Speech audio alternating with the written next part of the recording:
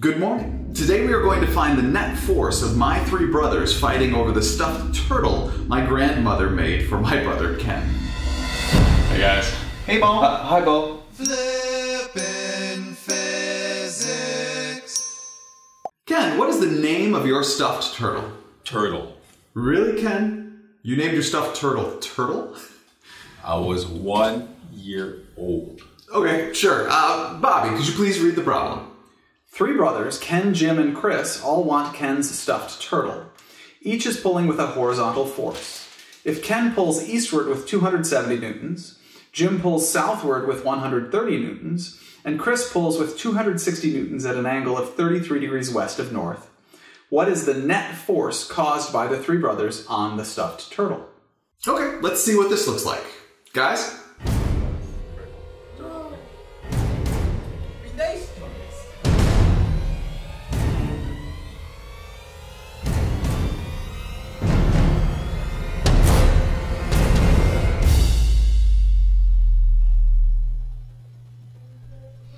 And now, Bo, could you please tell me the givens and what we're solving for? The force of Ken equals 270 newtons east. The force of Jim equals 130 newtons south. And the force of Chris equals 260 newtons at an angle of 33 degrees west of north. And net force equals question mark. Notice the subtlety here with the force of Ken. It is 270 newtons east, not 270 northeast with no dimensions. So please be careful of that. Now, Bobby, this is a problem that involves forces, so what should we do next? We need to draw the free body diagram. Absolutely. We need to draw the free body diagram. The force of Chris is 260 newtons at an angle of 33 degrees west of north. The force of Ken is 270 newtons east, and the force of Jim is 130 newtons south. Remember the length of the arrows is proportional to the magnitudes of the vectors, which is why the force of Jim arrow is the shortest, and the force of Ken and Chris arrows are almost the same length. Beware that there actually is a force of gravity acting on Turtle, however it is only 1.4 newtons, and we are considering it to be negligible for this problem, which means it is so small we can disregard it with very little error.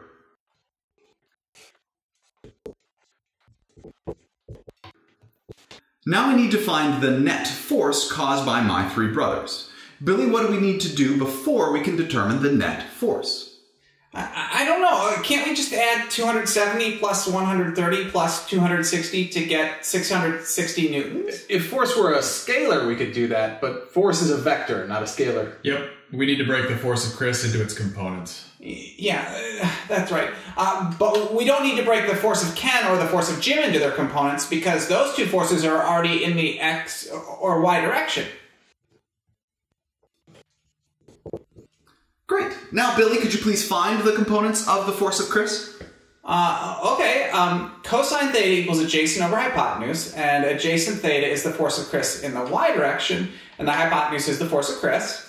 Multiply by the force of Chris, and we get the force of Chris in the y direction equals the force of Chris times the cosine of theta, uh, which is 260 times the cosine of 33 degrees, or 218.054 newtons. Uh, we can do the same thing with sine. Uh, sine theta equals opposite over hypotenuse, or the force of Chris in the x direction divided by the force of Chris. So then the force of Chris in the x direction equals the force of Chris times the sine of theta, which is 260 times the sine of 33, which is 141.606 uh, newtons.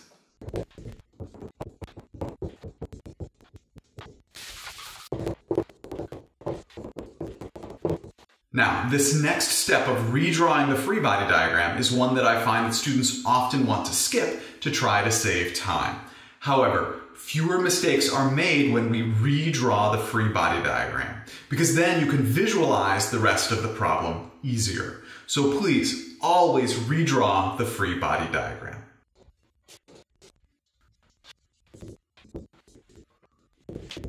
We still have the force of Jim and the force of Ken, but now instead of having the force of Chris, we have the components of the force of Chris, the force of Chris in the x direction and the force of Chris in the y direction.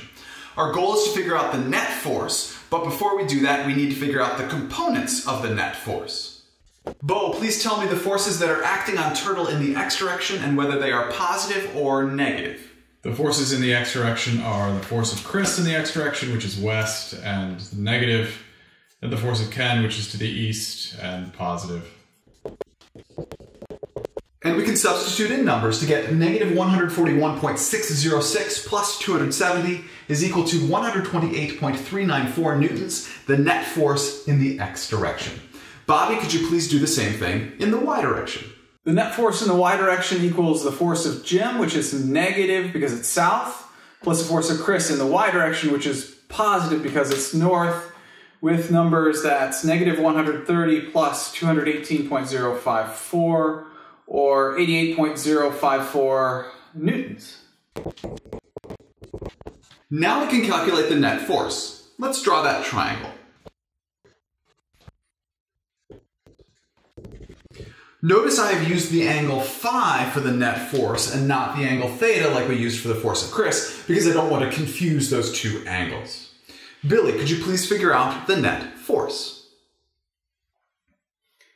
Uh, we need to use the Pythagorean theorem, so a squared plus b squared equals c squared, uh, which is then the net force in the x direction squared plus the net force in the y direction squared equals the net force squared. Uh, taking the square root of the whole equation gives us the net force equals the square root of the net force in the x direction squared plus the net force in the y direction squared. Uh, when we substitute in numbers, it is the square root of 128.394 squared plus the square of 88.054. Um, 155.687 or 160 newtons with two significant digits.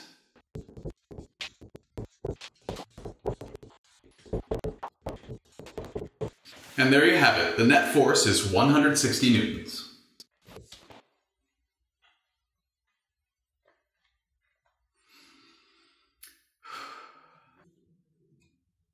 Oh yeah, For, force is a vector. We need to find the direction.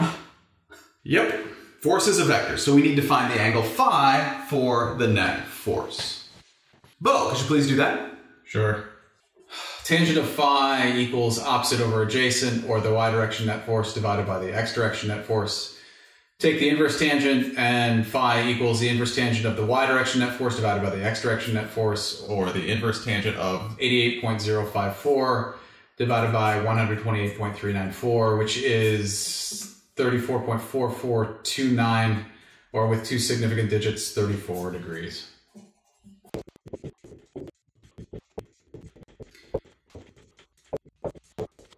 The net force acting on Turtle with two sig figs is 160 newtons at an angle of 34 degrees north of east.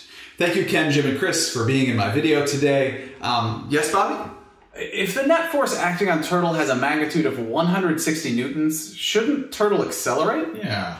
Very good observation, Bobby. You are correct. Because Turtle's initial velocity is equal to zero, uh, he should accelerate in the direction of the net force, which is 34 degrees north of east. However, because Turtle was made by my grandmother 47 years ago, it seemed appropriate to pantomime those forces to avoid ripping Turtle apart. Thank you very much for learning with me today. I enjoyed learning with you. So you need to be standing so that I can kind of in a line so I can see this photo right now. Just kind of almost that. Okay, that, that's good. Yeah, okay. They pull the brakes up to the hospital a long ways. Be nice. Okay, so Not be nice to you though. Turtle. excellent. That was, that was awesome. Be nice to Mitchell. Grunt like you mean it. Uh. I like it. Okay, do that to the other ones. Give me the, give me the like.